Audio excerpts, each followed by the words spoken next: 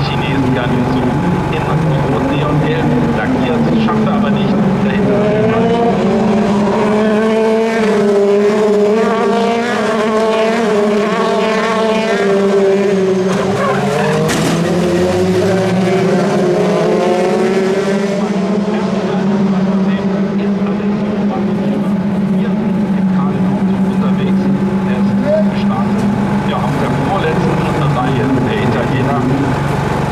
Tag. Ein Rennen zum Vergessen, wir sehen mal, wie es dazu kam.